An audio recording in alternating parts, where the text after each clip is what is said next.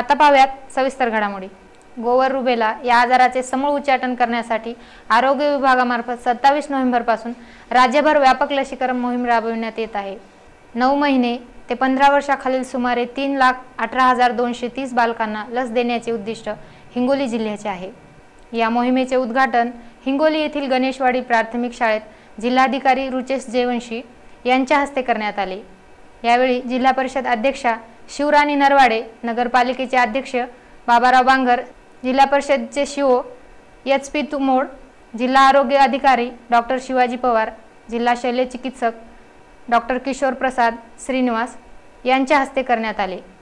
ही लस तीन लाख अठरा हजार दोनशे तीस बालकांना चोवीस प्राथमिक आरोग्य केंद्र चार उपजिल्हा रुग्णालय एक जिल्हा रुग्णालय बाराशे पंच्याण्णव शाळा बाराशे चौदा अंगणवाड्या व दोन नागरी दवाखान्यातून देण्यात येणार आहे.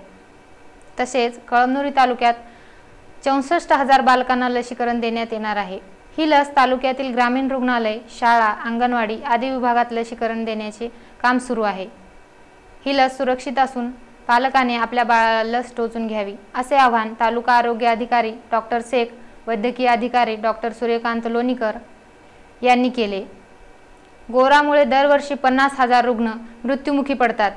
गोवर झालेल्या रुग्णामध्ये ताप अंगावर पुरळ येणे सर्दी खोकला शिंका येणे आदी लक्षणे दिसून येतात.